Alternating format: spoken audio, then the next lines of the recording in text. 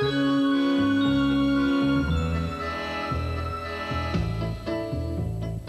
you believe you must be big in order to be tough, then you should get